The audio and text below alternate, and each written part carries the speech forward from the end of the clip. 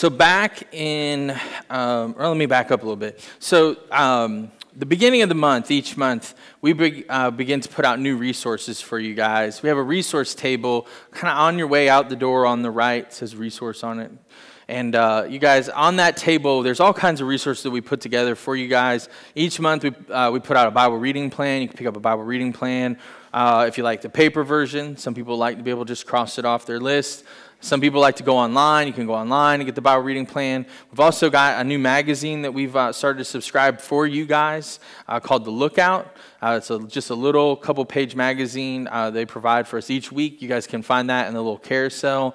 Uh, if you're looking for something a little bit deeper than that, there's one called the Christian Standard. You're more than welcome to take those as well. But that resource table is there for you guys. It's just a great opportunity uh, to find resources. There's a book on how to pray and different types of prayer. There's uh, a, a daily devotional book called Daily Bread. There's all kinds of things on that table that's for you. So as you're going out the door every week, make sure you guys are checking that table out. Pick up a lookout copy or Christian Standard Standard and, and read those. Uh, they're all there for you. And I, and I, just like to point that out. Usually, the beginning of the month is always a good time because we're producing new Bible reading plans. They're there for y'all as well. Um, so, we're, we're kicking off a new series called You Asked For It. And uh, if you remember back at Easter, uh, we produced a survey for you guys uh, asking you what, what do you guys want to hear about? Maybe there's stuff that we're not talking about uh, in our preaching calendar that you guys want to know about. You know, when I sit down, uh, usually during the summer, uh, to put together uh, about 12 months worth of preaching uh, topics, you know, it's just a, it's a very one-sided, well, two, it's me and God. So, I mean, we're just, we're working it out. You know, Matt gets added into that conversation. Now it's three people. Uh, but what about you guys? I mean, what are you guys wanting to hear about that we're not talking about? And so uh, we uh, took that survey, we pulled together all the data and the resources, and we produced four sermons that we're going to talk about, like purpose and simplification, forgiveness, change. How, how do we change? So we're going to be talking about those things.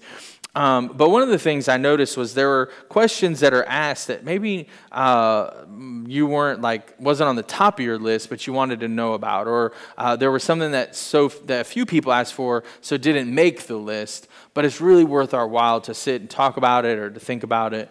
And so. Um, as we're kind of getting back into the rhythm of things uh, for the fall, you know, each week I, I, I, write you guys an email. If you're not getting that email, make sure your Connect card has our, your email address on it. We'll put you on the list. Uh, but we, I want to, uh, you know, as I'm talking through those emails and whatnot, I want to put together a little resource for you about a topic. Like, uh, you know, one of the topics that we're not going to get a chance to talk about this uh, four weeks is marriage but marriage was one that some people had asked about. So in last week's email, I put a couple of uh, articles about marriage, about godly marriage, and what does that look like? And, and so that's there for you guys. So each week, we're going to put together a couple of little resources for you dealing with some of the ones that didn't get talked about or didn't get uh, put on our list. Uh, but we are talking about questions that you asked for. You know, I, I, was thinking about how accident prone I was as a kid, right? And most of us as kids, we're just accident prone. We don't think about the consequences of our actions, right? I mean, we just do. We want to have fun or we just want to go down this way and we want to do this thing. But what are the, the repercussions uh, on the other side of it, the accidents? You know, I talk with my kids about that and they'll, they'll start to do something and I'll go, wait a second, you know, what's going to happen on the other side of this? Is there going to be an accident that occurs on the other side? Side of this. Well, Dad, I'm not really thinking about that. Like, I, I don't really care about that. I was like, I know. That's why they're called accidents, because you didn't plan for them. And I think in life, we can accidentally go through life. I think we can walk through this life day after day with no plan. We're not purposefully creating steps for today and for tomorrow. We don't have goals. We don't have a purpose. We don't have a reason for the things that we do and, and it just happens. We walk through this life, we guide through this life. Maybe we even go to the end of our lives, not really having feeling like we have a purpose. Life is the decisions that we make, and purpose only, only happens because we pursue it to get there. We have a plan, we have a, a purpose. And so that's what we're going to be talking about this morning. And, and you know, as we're, we're jumping in, you guys can go ahead and turn your Bibles to Genesis chapter 37. We're going to sit and camp at and look at the life of Joseph. So we're talking about purpose this morning. But as you guys are turning your Bibles, I want to ask you a question. This is the question of the day. And just turn to the people closest to you, and I want you to answer this question Why do you think you are on this earth for? What's your purpose? Why do you think you're on this earth for? Take just two minutes, turn to the people closest to you, answer that question, and we're going to get right back together.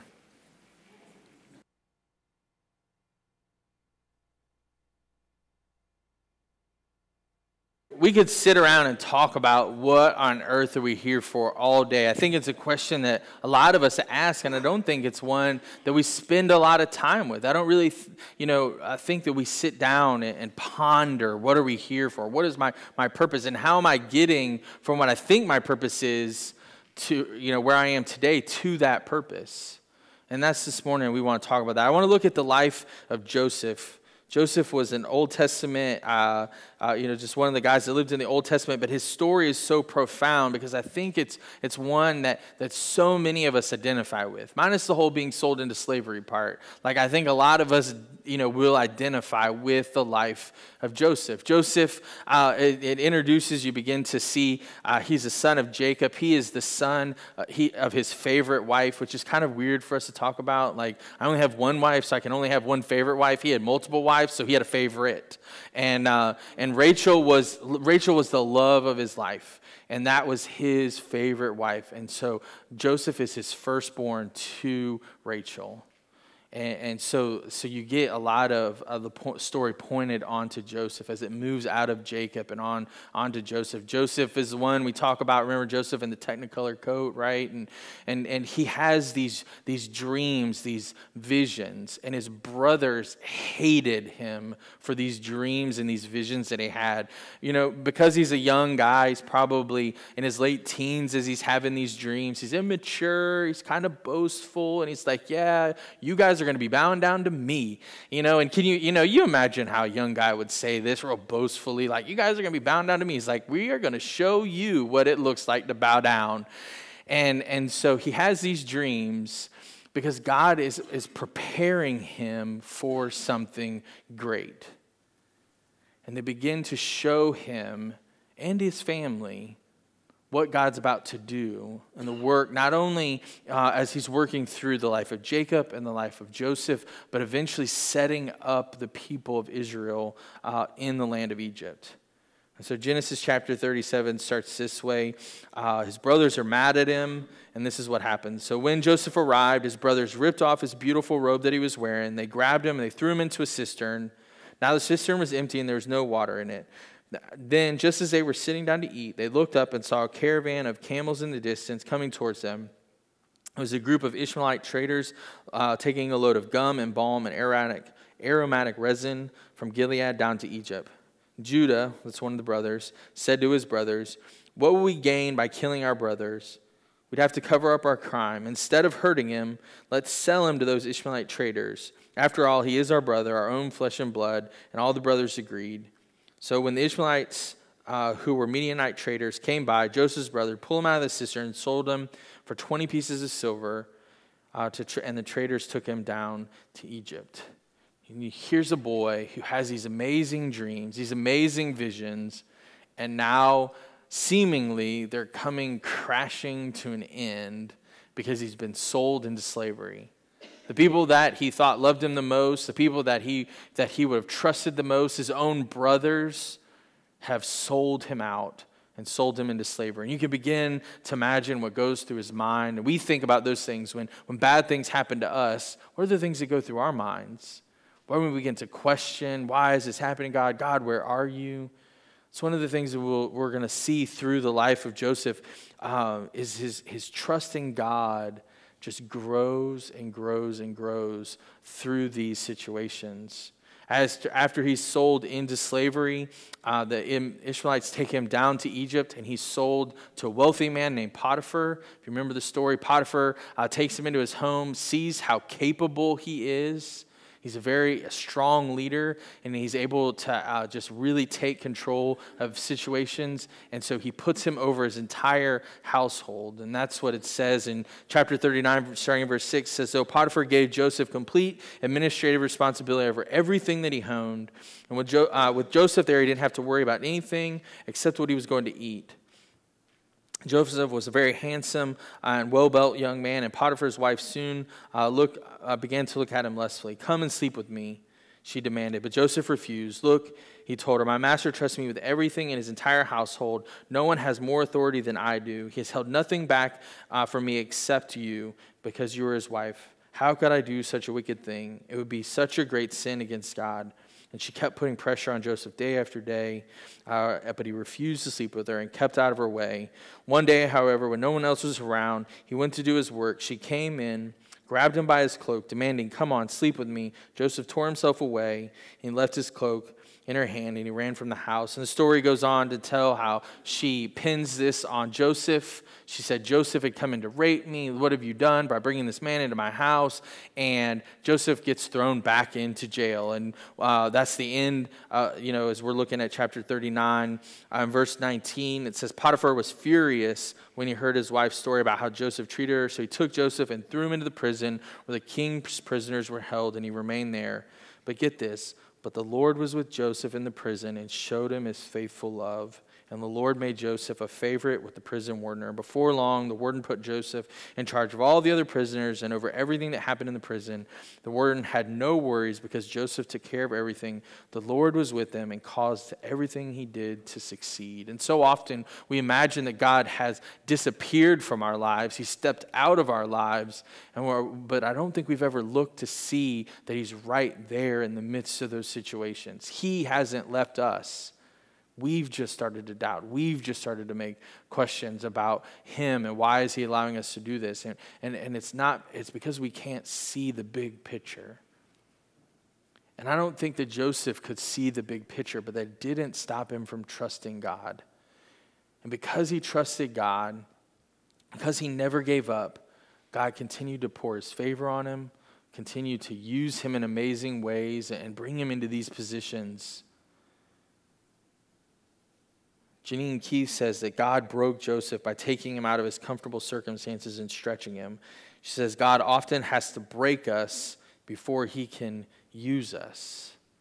None of us like to be uncomfortable. It's, it's almost un American to be uncomfortable.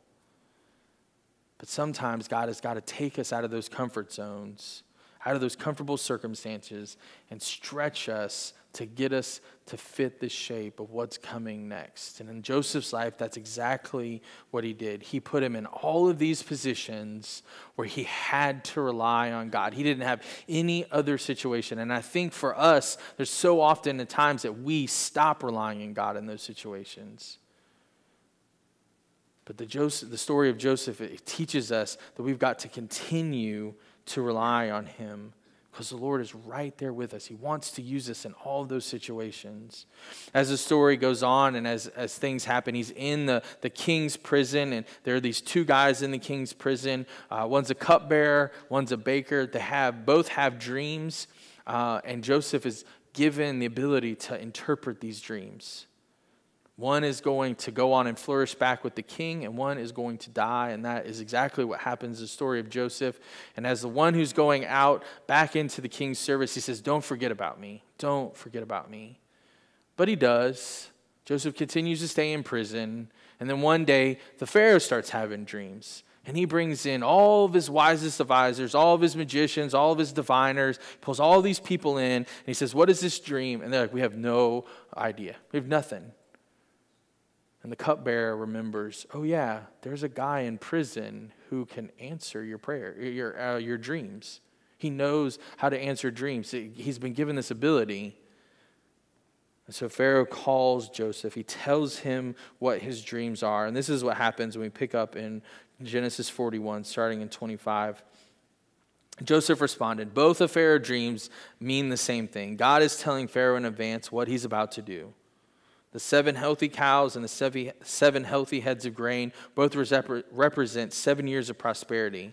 The seven thin, scrawny cows that came up later and the seven thin heads of grain that withered by the east wind represent seven years of famine. This is what will happen. This will happen just as I've described it. For God has revealed to Pharaoh in advance what he's about to do. The next seven years will be a period of great prosperity throughout the land of Egypt. But afterward, there will be seven years of famine, so great that all the prosperity will be forgotten in Egypt. Famine will destroy the land. The famine will be so severe that even the memory of the good years will be erased. As for having two similar dreams, it means that these events have been decreed by God, and he will make them happen soon. Therefore, Pharaoh should find an intelligent man and wise man to put him in charge of the entire land of Egypt. Then Pharaoh should appoint a supervisor over the land to let them collect one fifth of the crop during the seven good years, have them gather all of the food produced in the good years that are just ahead to bring it to Pharaoh's storehouses, store it away, and guard it so there will be food in the city. That way there will be enough to eat when the seven years of famine come on the land. Otherwise, the famine will destroy the land. Pharaoh, Joseph's suggestions were well received by Pharaoh's and officials, so Pharaoh asked, Can we find anyone else like this man, so obviously filled with the Spirit of God? Then Pharaoh said to Joseph, Since God has revealed the meaning of these dreams, clearly no one else is intelligent or as wise as you. You will be in charge of my court, and all my people will take orders from you. Only I will sit on the throne and will have higher rank than yours. God had used all of these situations in Joseph's life to prepare him for this purpose that he had in store. But it looked nothing like what Joseph thought it was going to look like. Nothing like um, the plans that Joseph had, the purpose that he thought he was there for. And Joseph could have easily tucked himself away in the corner of one of those prison cells in the fetal position, crying and whining about the situations that he was in or he could rely on God through everything. And we learn so much from Joseph in that. So much about relying on God no matter what the circumstances are that we're going through, no matter what is going on. And there's a question that comes to mind, and is are we willing to let God do whatever he needs to do in your life to make you usable to him? So often we think this life and even this question, what on earth am I here for, is about me. It's about my purpose, my goals. You know, I want to climb this ladder. I want to attain this amount of wealth. I want to buy all of these things. This is what I'm here for. These are the goals that I've set forward in my life. But the reality is, is that that's not what we're here for. Joseph was not there to be bowed down and worshiped. That, that there's a part of the story that comes uh, that says why that occurs, and, and that happens uh, in the latter part of Genesis. But he was there to fulfill God's purpose. It was only by godly wisdom and godly discernment that that region was spared.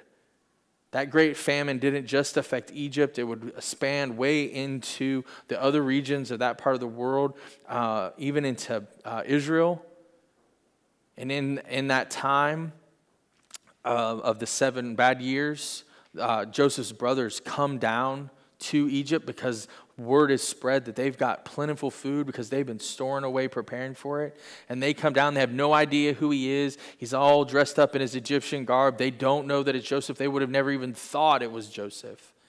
And there they come in, and like everybody else, they bow down and they ask for food. Joseph recognizes them realizes who they are. He puts them through a series of tests to get his younger brother and his father down into the land so that he can care for them and he can provide for them. The Pharaoh ends up giving them this amazing land of Midian uh, that's just fruitful. It's, it comes from prime Pharaoh real estate. And there, the Israelites are set up for what comes next. God was providing for his people in that years of famine so they would begin to trust and lean on him like nothing else. And then Jacob, in his later years, he passes away. And his brothers are so afraid of what he's going to do now that his dad has passed away. He's never once lashed out at them. He's never once thrown them in prison. He's never once tried to kill them for what they did. He's always cared for them. He loved for them. He wept when he realized that it was his brothers and his family and his father. And in the end of Genesis, Genesis chapter 50, Joseph tells his brothers, who are so worried, he says, You intended to harm me, but God intended it all for good. And I think there's so many times in our lives, whether it's a person, a boss, a coworker, a family member, a situation where we go, that intended me or you intended me for harm. And we stop there. And we don't ever look at the bigger picture. We don't ever open our eyes to see maybe God is doing something. Maybe God has re- risen us into this position. Maybe He's placed us there to teach us a lesson. He says, You intended me for harm, but God intended this all for good. He brought me into this position so I could save the lives of many. And maybe our, our role isn't to prepare for seven bad years of famine, but there's no mistake that God has you where He has you for a reason, and we've got to allow Him to use us where we are. Why did He place us in the role that we're in? Why did He place us in the work? Why did He place us in the neighborhood? Why did He place us in these positions? Nicole Unice says it's easy for us to fall into a version of Christianity that believes without saying that God is supposed to make our lives go well. That's what we think this is about. God's supposed to make our lives go well, and that is His will for us to get what we want. We have a picture of what our lives are supposed to be, this grandiose picture of how well it's supposed to go for us, and we fall into the rut believing that God's job is to make our picture become a reality. We're so self centered to think that it's all about us, that this whole thing is about us, that even our purpose is about us. But Joseph's life teaches us that disappointments are vital to the growth, especially the spiritual growth that's going to occur because these situations demand faith and, arrest, and resting all of our hope in God. Just like Joseph, God takes us through these situations but the end of the story isn't about Joseph. The end of the story is about God. God preserving his people, God creating a plan for the famine to bring glory to God. What, there was no one else in Egypt, nobody, that had the wisdom to save them but God. And God used Joseph. The story of Joseph is so much like so many other stories, and the overarching story of the Bible. What we learn is, is that God uses humanity to bring about his purposes and his glory. Like you and I are the hands and the feet of God to be used by God. That's what we're here for. That, that's our, our purpose, is to be used by God. And God's going to use our lives and use our situations. He's going to put us in places that we don't really expect to teach us and to grow us and to stretch us so that He could use us for His glory. And oftentimes it's very uncomfortable.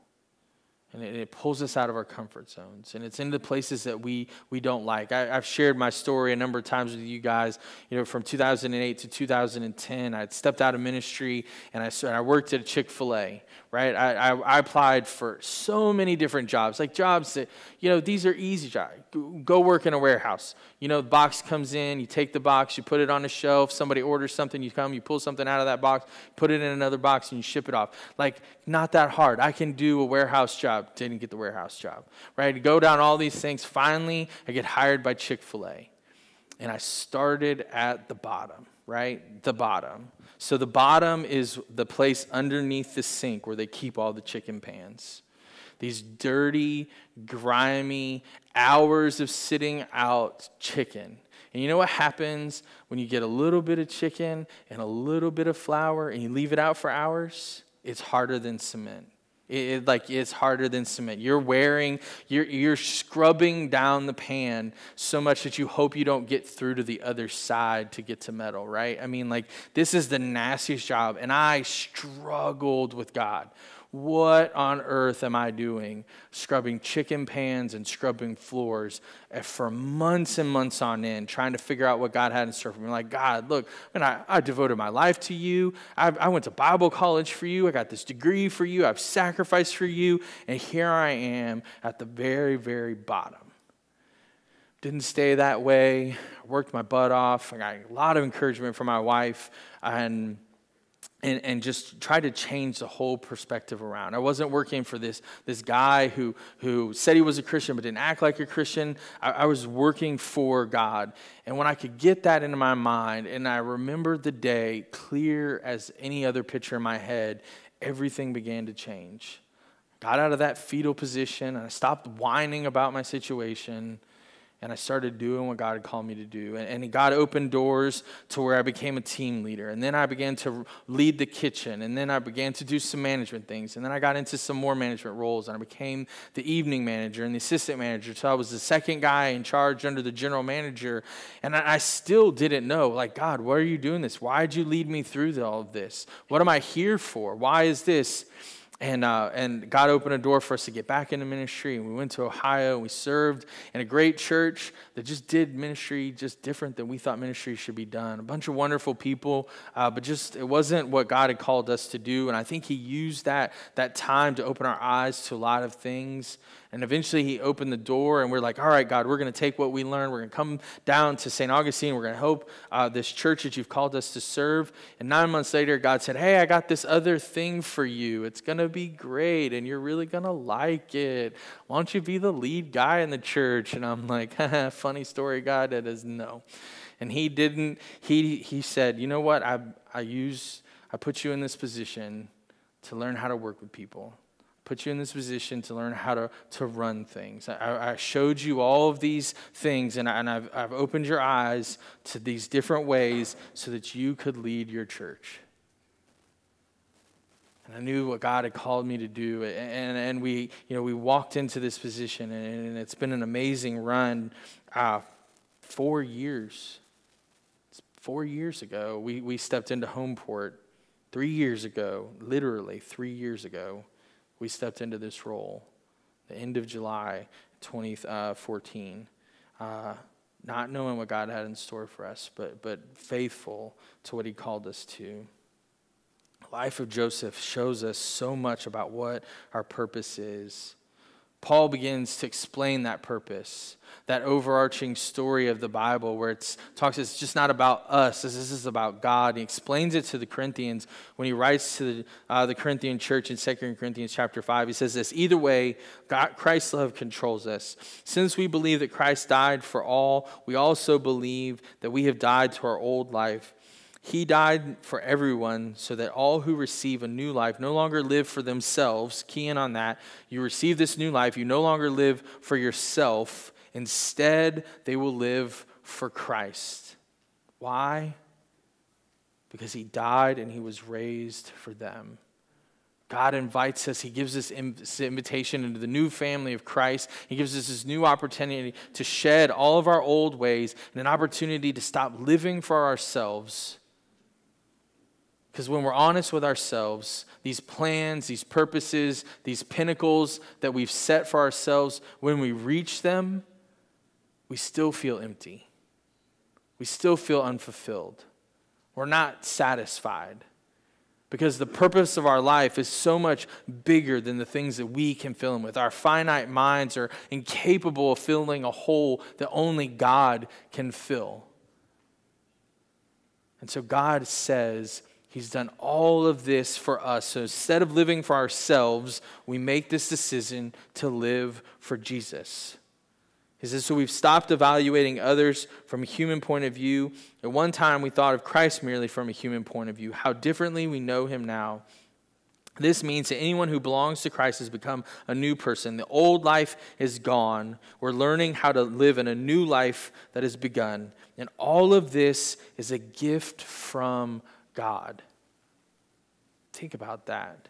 All of this is a gift from God. This we are not deserving a new life. There's nothing that we've done that would say, "Hey, you deserve a new life." Yet he offers us this amazing new life. And it's a gift from him who's bringing him back to, our, to himself through Christ. And God has given us this. He's giving us a task. Three times in the New Testament, there are tasks given to the church.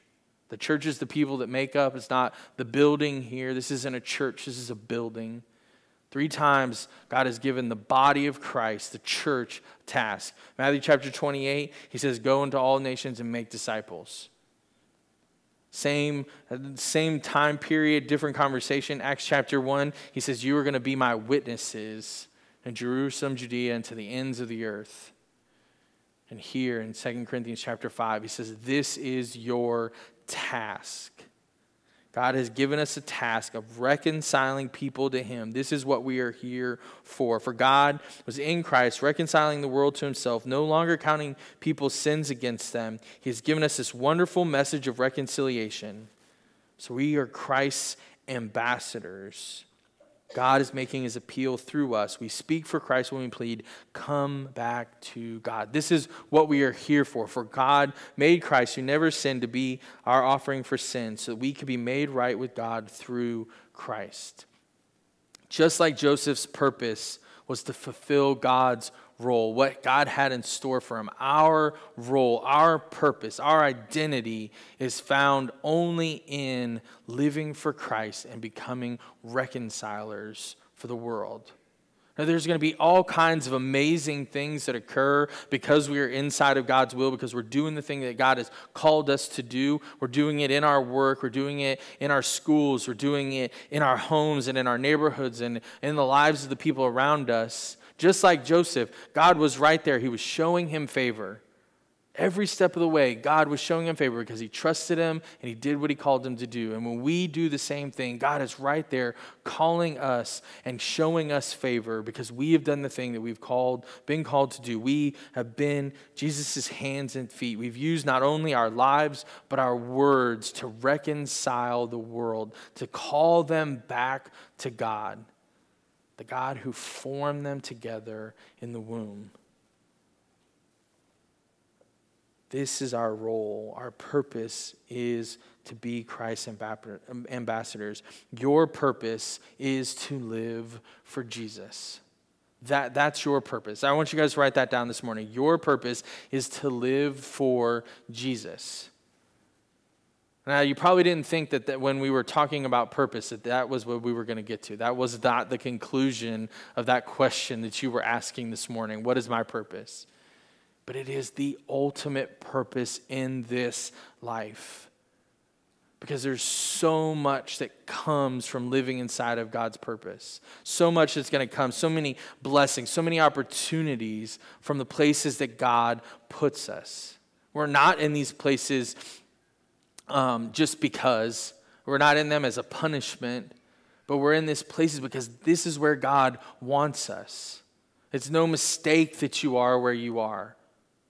And even if it is, there's a purpose behind it. God can make all things good for those that love him. I mean, this is, this is the reason that we're here. Our purpose is far greater than the job that we'll work, and it's far greater than the city that we're going to live in. Purpose and identity are, are, are intermixed in our, in our language and our vocabulary. Our identity is more than who we are married to or the school that we get our, our education from. Our identity and ultimately our purpose is found in Jesus and Jesus alone. Church, this is what we are here for. This is why we exist. And if we're not finding satisfaction, we're not finding contentment, we're not finding purpose, it's because we're looking in the wrong place. That this is what this is why we're here. Now, there are times when we are uh, seeking for a specific direction. All life is not generalities. It's not like, you know, we're just on this one road, it's going to go forever. There are times when we're given opportunities. Maybe it's a specific job, it's maybe where we're supposed to go next. Maybe we're asking the question, Am I supposed to marry this person? Maybe we're asking, Is it the right time to? And you fill in the blank with what's going on in your life. Uh, there are times where we're speaking specific or specific uh, direction. And this is where we, we tend to place our understanding and where we need to look at uh, God's greater will and, and purpose for our lives. You've been given a free will. You've been given plenty of opportunities to enjoy life and to make decisions inside of a, uh, uh, for yourself. But we make those decisions inside of, of God's guardrails when we were up in the mountains a couple weeks ago, um, whenever we would get onto like, you know, we were driving next to a creek, but the creek was like 20 yard, you know, 20 feet below the road, or we were on the side of a mountain, and if the kid, you know, whoever, which kid was on that side of the car, they'd always make mention of the guardrail. Like either it was there or it was not there. And if it wasn't there, they'd freak out, right? I mean, like, you do not want to go off the side of the road. They're like, there's no guardrail. I'm like, yeah, yeah, yeah, there's trees. They'll catch us before we tumble all the way down the mountain. Like, this is going to be all right, you know? But, but that's our, our life is to be lived inside of these guardrails that God has put us in front of us. How do we live our lives? How do we do the things that, that God has called us to do? And sometimes we're asking questions as we're going through this life. One of the things, uh, ways that we can find uh, out about specific direction is to seek godly input. Proverbs chapter 11 says, For the lack of guidance, a nation falls, but victory is won through many advisors. And so you're, you're looking at what's next. You're asking questions about what to do, a job opportunity. Are you supposed to move? Are you asking the godly people around you? Maybe somebody who's further down the road, somebody who you're walking down that road with. Are you asking them these questions? Hey, what do you think? And are you open to honest answers about it? Was reading a guy who was talking about asking a friend about this specific guidance and he says uh, do you want an honest he goes i want your honest opinion and the guy says do you want an honest opinion or do you want an honest opinion? Right? And the guy's like no no no i want an honest opinion. He's like i know you want an honest opinion but do you really want an honest opinion or do you really just want me to agree with you and say this is a good idea and not push back any? And finally the guy's like i get it i get it. I, I really want your honest opinion and so we go to these godly friends and these godly advisors and mentors and we ask them, but we want to know honestly is this really what I'm supposed to be doing? Do you really think God could be taking me down this path? Someone who knows you, someone who's walked with you, and, and can really help you in those situations. We, we seek for, for godly input. Um, you know, when we're in a certain situation, too often we realize or we forget to realize the reason that we've, we've been put there. And as we're seeking godly input, maybe God is calling us into a new direction. Maybe God's calling us into a new job. Uh, the reason that, that we, we get so much uh, favor, the reason we've been called into those things and God has sent us in as his ambassadors is because there's certain things that only Christians can bring into a situation. When we look at the life of, of Joseph, only Joseph could bring godly wisdom and direction into that. As a Christian, you are bringing godly wisdom and direction into that next venture, into that next job opportunity, into that neighborhood. One of the things that's seriously lacking in the world around us uh, is a moral compass. For us, the Christian, we have a moral compass. We know where true north is. We bring a moral compass into those situations. We know how God has called us to live. We know the things that He's called us to do. We know what's right and what's wrong. And so, as we're seeking guidance into going into these situations, not only are we are we looking for God's will, but what can we? Why is God bringing us into? What do we offer that no one else in that situation offers?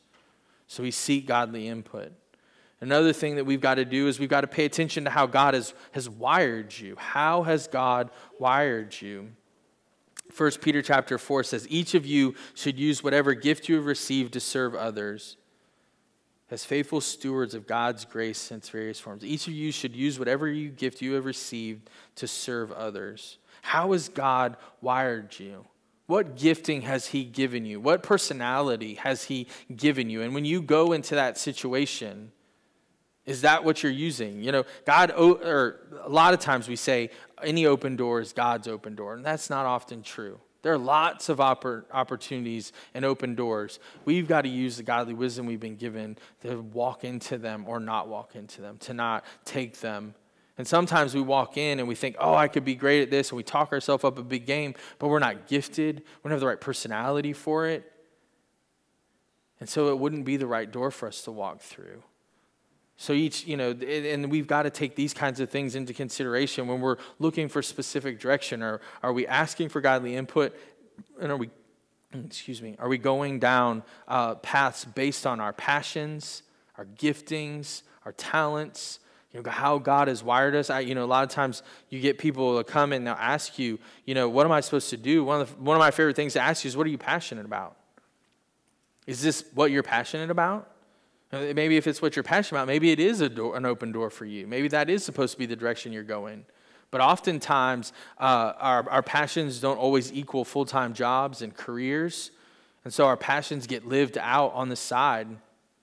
I have a buddy who is uh, an amazing um, database engineer. I mean, like, amazing. He gets it on levels that I've never seen, like, understands. He is a contractor uh, for the DoD. Um, you know, he works in buildings like the NSA building and, uh, you know, the Pentagon. He goes in and he helps them with their databases.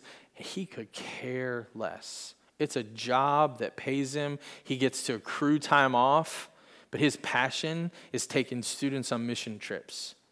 And so he, he gathers a group of students together who are interested in missions, and he teaches them about missions for the year, and they work literally for a year. They'll work together and they'll pull together a plan. And then he accrues all this time off because he can work longer hours some days to get more hours off because as long as he gets his job done.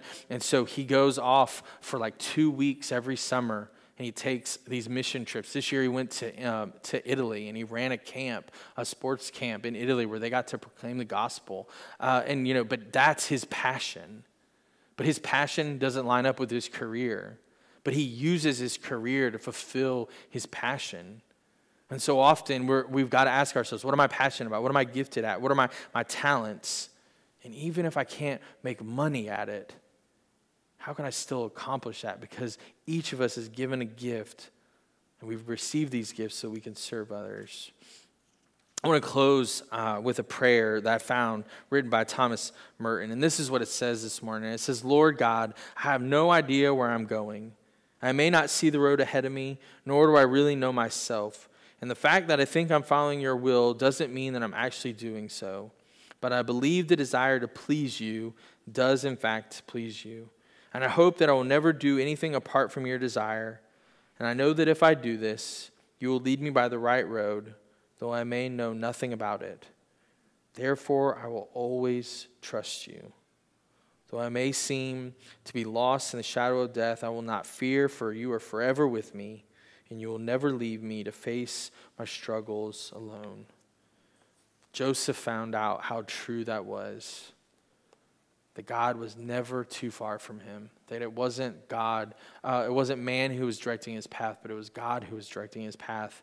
That though he seemed lost in those prison cells for years, God was forever with him. And the same is true for us. Whatever we're going through, whatever struggles we're, we're trying, or uh, that we're being tried by, while we're looking for our purpose but we're asking this question what on earth am I here for? Why am I in this job? Why am I in this neighborhood? Why am I doing this? God is always right beside us. The call is to live for Jesus and to let God put the things into place. I want you guys to pray with me this morning. Father God, as we sit and look at the story of Joseph, how much we're reminded that you walked right with him through it all that, it, that you are right there with him, guiding and directing him, even in his hardest moments, even in the darkest uh, cells of those prisons, you are right there. And, and if you were right there for Joseph, your word says you're going to be right there for us. That you're going to walk along our dark nights and our hard paths. Father, you've called us to live for Christ. You've given us this, this amazing gift of reconciliation, one we don't deserve. Father, I pray that you would help us, just like Joseph, to live for you. And that in those moments, in those, those, those times, that you would continue to bless us and continue to open our eyes how you want to use us. That we would find our purpose in you and you alone. That it's you are our satisfaction, that you are our fulfillment. Father, we trust in this.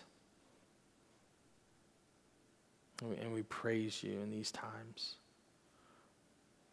Father, today as we come, I pray that you would just be with us. As we're in these moments, I pray that you would use the, this quiet, still time to speak to us and to be with us. Father, we pray all this in Jesus' name. Amen. Thank you.